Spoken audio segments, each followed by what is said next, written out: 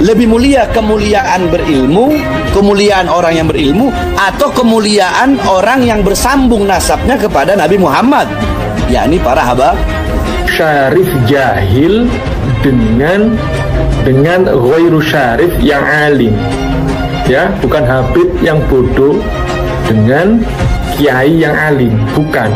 Keliru ini bagi orang-orang yang pengen suhro, pengen tenar dengan menghina, mencaci, memaki anak, silahkan hina, caci, maki anak sesuka itu orang. Saya Bahar bin Smith tidak akan pernah membungkam saya punya mulut. Mulut saya tidak akan pernah bungkam. Selama itu mulut saya akan menghina, mencaci, memaki siapa pun. What? Indonesia sejak dulu kala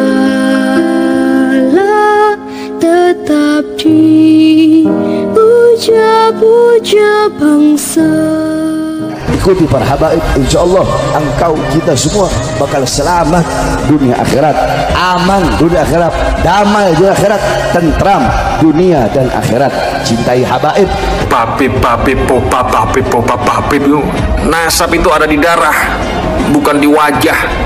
Walaupun gak dipanggil sayyid gak dipanggil syarif kalau nasabnya bersambung ke Nabi Muhammad ke Rasulullah Muhammad SAW maka tetaplah zuriyahnya Habib yang alim ulama besar. Da'i Allah jangankan beliau. Habib-habib yang bodoh saja memiliki kedudukan di sisi Allah subhanahu wa ta'ala. Kalau belajar kepada orang yang bodoh yang dipelajari apanya yang diambil pelajaran itu apanya? Ya belajar itu kepada orang yang memiliki ilmu. Man afdal syarif atau alim yu'mal bi'ilmi. Mana yang lebih utama? Mana yang lebih mulia? Seorang habib atau orang alim yang mengamalkan ilmu? Syarifun jahilun. Habib bodoh. Lebih utama daripada orang alim yang mengamalkan ilmu. Kemuliaan nasab ya. Dengan kemuliaan ilmu. Ini jangan dibandingkan. Ini nggak apple to apple. Kemuliaan nasab ada sendiri. Ya mulia karena nasab. Ada mulia karena ilmu ada sendiri. Jangan dibenturkan. Ini nggak apple to apple. Keliru ini. Riwayat syarif afdal min sabi alimin satu orang habib lebih utama lebih mulia daripada tujuh orang yang alim. Bodoh itu. Bahasa Arabnya jahil dulu ada sebuah zaman disebut zaman jahiliyah, zaman kebodohan, zaman kesesatan, zaman kezoliman, zaman kegelapan. Jadi yang seperti ini ya, ini jelas-jelas sebuah pembodohan. Ini orang-orang yang bodoh, yang awam gak makin pinter, tapi makin sesat, makin bodoh yang menjadikan seseorang itu habib bukan ilmu. Ya ketika dia memiliki garis keturunan yang bersambung kepada Rasulullah dan tercatat maka dia habib. Saya bukan keturunan orang Yaman tapi saya dapat pengakuan dari Nakobah Alul Bait Robito Alul Bait yang ada di Yaman. Nah ini coba ya kan? Yaman. Nah ini Jordan Suriah Kuwait Maroko katanya habaib di Indonesia palsu semua. Sampai rame tes DNA tes DNA anu udah bilang kalau mau tes DNA dua syaratnya. Satu bisakah ente orang yang ngajak tes DNA ini menggali kuburnya Rasulullah ambil darah beliau nanti cocokkan sama kita orang? Atau darah Sina Ubaidillah yang dikatakan putus darahnya atau rambutnya kayak atau apa? Syarat kedua tes DNA dulu yang ngajak tes DNA ini tes DNA dulu. Apakah termasuk anak zina apa bukan? Sebagaimana hadis tadi yang dikatakan oleh Rasulullah. Sebab yang mengingkari keturunan Rasulullah salah satu dari tiga. Munafik anak zina atau anak yang disetubuhi dalam keadaan ibunya haid. Ba'alawi itu sebutan untuk keluarga Bani Alawi. Jadi seluruh Bani Alawi, anak keturunan Alawi, Ubaidillah, ya, Hadramaut, Yaman, ini disebut dengan Ba'alawi. Yang kemudian akhirnya Duriyah beliau dipanggil dengan sebutan Habib. Habib palsu lah, Habib Yaman, Habib oh ini Habib Habib palsu. Kalau anak sih bodoh amat. Bahar bin Smith dibilang Habib palsu, Habib palsu, bodoh amat. Pergi ke Robito sana, pergi ke Nagoba. Anak tidak perlu menjelaskan siapa dirinya.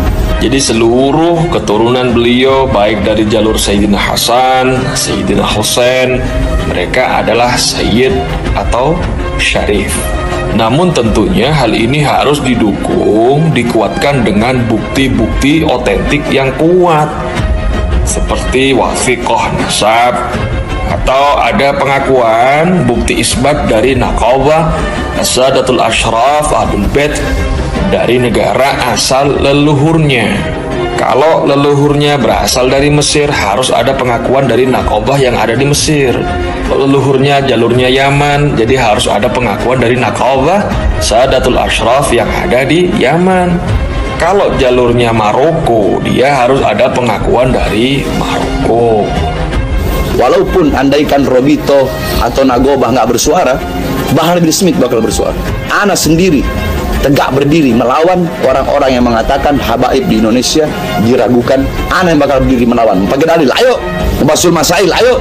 Pakai kitab ayo. Sedangkan Habib, Habib ini adalah panggilan yang asalnya dari Yaman, dikhususkan untuk keturunan Bani Alawi. Orang yang pertama kali dipanggil Habib adalah Al-Habib Umar bin Abdurrahman Al-Abbas.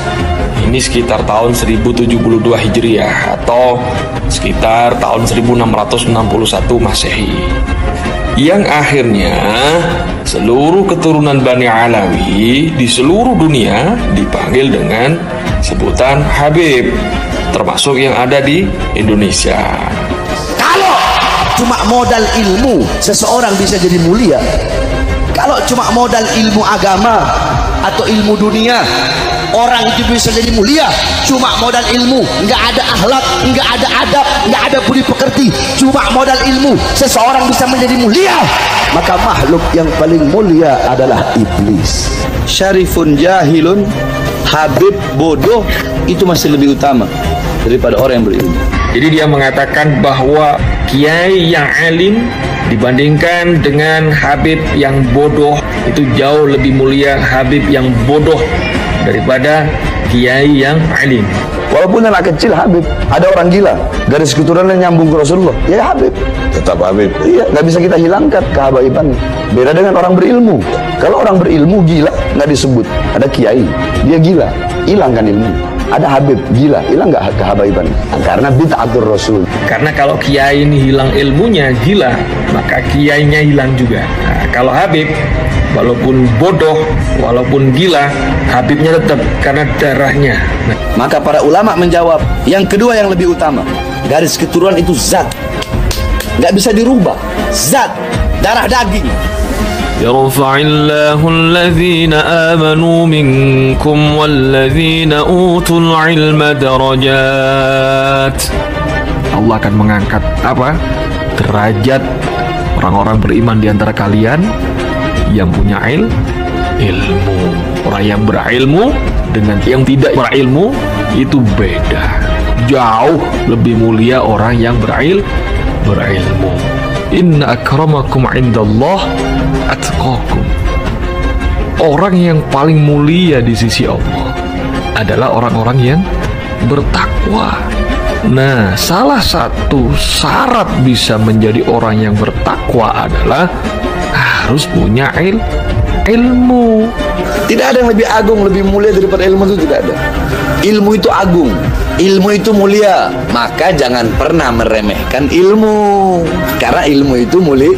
mulia. Ilmu itu ah, bahkan tidak ada perkara apa pun yang lebih mulia daripada ilmu. Syarifun jahilun, Habib bodoh itu masih lebih utama daripada orang yang berilmu. Allahu Akbar, Allahu Akbar, Allahu Akbar. Hidup Habib Bahar. Jadi sekali lagi, kalau kita lihat redaksinya ya, di situ yang ditanyakan adalah syarif atau ghairu syarif. Jadi jelas ya, syarif atau selain syarif. Syaraful ilim am syarafun nasabin nabawi.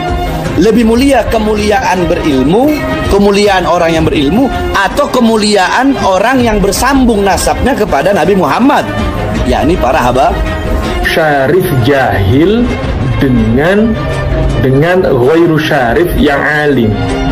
Ya bukan habib yang bodoh dengan kiai yang alim. Bukan. Keliru ini. Bagi orang-orang yang pengen suhro, pengen tenar dengan menghina, mencaci, memaki anak, silahkan hina, caci, maki anak sesuka ente orang. saya Bahar bin Smith tidak akan pernah membungkam saya punya mulut. Mulut saya tidak akan pernah bungkam selama itu. Mulut saya akan menghina. Desakan soal perlunya pembuktian para habaib Bahlawi Yaman bahwa mereka adalah benar-benar keturunan Nabi Shallallahu Alaihi Wasallam atau zuriyah Rasul terus bergulir dan semakin menguat. Terutama usai salah satu dari anggota Robito Alawiyah, wadah para habaib Bani Alawi yang mengklaim sebagai keturunan Nabi dari jalur leluhur mereka di Hadramaut, Yaman. Bahar bin Smith sebagai kali melontar statement kontroversial yang menyerang dan menyudutkan keturunan Bani Wali Songo sebagai habib-habib palsu dan bukan keturunan Nabi Shallallahu Alaihi Wasallam. Nah, kali ini kita akan mengulas secara panjang yang jarang diketahui umat muslim dan publik secara umum bahwa polemik yang memanas antara Bahar Smith versus keturunan Kesultanan Banten termasuk juga dengan Gus Fuad Pleret soal otentitas Habib, Zuriyah Nabi dan Ahlul Bait. Ini hanya ujung dari akar sejarah kemunculan habaib keturunan Yaman sejak beberapa abad lalu di masa kolonialisme Belanda. Nah, kita akan mengurai benang kusut polemik ini dengan menggali keterkaitan habaib Bahlawi Yaman. Sejarah Wali Songo dengan konsep dan strategi kompani Belanda yang kokoh menancapkan kuku kolonialismenya selama 350 tahun di bumi Nusantara. Sebelumnya, perlu Anda tahu bahwa ulasan ini merujuk pada pendapat pemerhati budaya, sejarah, dan genetika KRT Fakih Wirahadiningrat yang dituliskan di sebuah portal media. Diketahui berdasarkan fakta sejarah, demi penguasaan yang totaliter, setiap penjajah pasti akan menerapkan tiga hal. Satu, kaburkan sejarahnya. Dua, hancurkan bukti-bukti sejarah itu hingga tidak bisa lagi diteliti dan dibuktikan kebenarannya. Tiga, putuskan hubungan dengan leluhurnya dengan mengatakan sebagai bodoh dan primitif. Untuk menjalankan hal tersebut, Belanda menggunakan tiga strategi, yakni politik sistem kelas, konseptor adu domba, dan agen pelaksana di lapang. Sistem kelas rasis yang rasis ini terbagi dalam warga. Kelas 1 adalah ras kulit putih atau keturunan Eropa. Warga kelas 2 adalah imigran Cina dan Arab. Dan kelas 3 atau yang terakhir adalah pribumi yang disebut inlander dengan konotasi yang jelek, bodoh atau terbelakang. Bangsawan pribumi termasuk dalam kelas ini. Sistem kelas dipergunakan untuk menancapkan superioritas penjajah di daerah jajahan, bahwa mereka ras termulia dan harus dihormati oleh ras-ras di bawahnya. Sementara ras kedua, Cina dan Arab dipergunakan sebagai kaki tangan agar tangan penjajah tidak kotor. Selain sebagai pelaksanaan kegiatan ekonomi, juga kepentingan kooptasi keagamaan, terutama Islam, sebagai agama mayoritas. Nah, perihal Balawi ini, apa yang sebenarnya terjadi dengan imigran yang masif menjual dirinya sebagai cucu Nabi ini? Indonesia tanah air pusaka abadi nan jaya